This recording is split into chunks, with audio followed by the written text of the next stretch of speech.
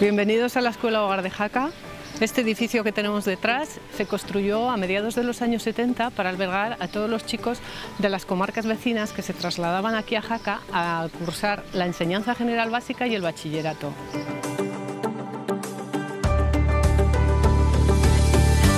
En su origen el internado ocupaba todo el edificio. Progresivamente las circunstancias sociales fueron cambiando, se crearon muchas rutas de transporte y en el curso 1996-97 el edificio pasó a compartirse con el IES Pirineos. En la actualidad la residencia de la escuela hogar ocupa una parte de la segunda planta y el comedor y la cocina siguen estando en la planta baja.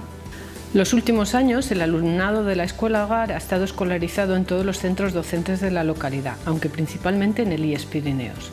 La mayor parte tienen edades comprendidas entre los 12 y los 18 años. Son chicos que cursan secundaria, bachillerato y ciclos formativos. Dentro del grupo de los alumnos de ciclos formativos hay muchos chicos que vienen de cualquier punto de la provincia y acuden a Jaca a cursar automoción, madera o el ciclo sanitario de auxiliar de clínica. Algunos de los estudiantes que se alojan en la escuela hogar proceden de localidades a las que no llega el transporte escolar. Otro numeroso grupo que viene haciendo uso del internado es el de los deportistas de élite. Son chicos y chicas seleccionados por el Centro de Tecnificación de Deportes de Invierno, que compaginan sus estudios de ESO y bachillerato con los entrenamientos. Se trata de esquiadores, tanto de esquí de fondo como de alpino, que durante la temporada de invierno suben a las estaciones a entrenar y el resto del año realizan la preparación física con sus entrenadores en Jaca. También se ha contado con estudiantes franceses que se escolarizan en un instituto de Jaca y residen durante el curso escolar en la escuela hogar con el objetivo de mejorar su competencia en lengua española.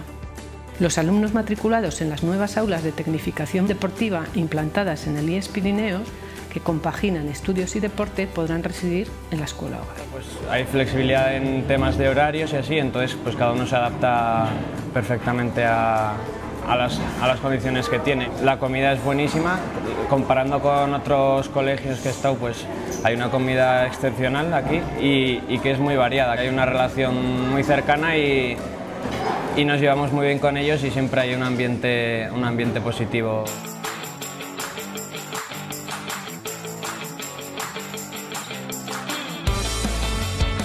Al comedor de este centro asisten todos los alumnos y profesores del Colegio Monte Oroel y del Instituto Pirineos que lo desean. Los menús se elaboran en su totalidad en la cocina del centro. Se sirve comida de proximidad elaborada con productos saludables y variados, siempre basada en la dieta mediterránea.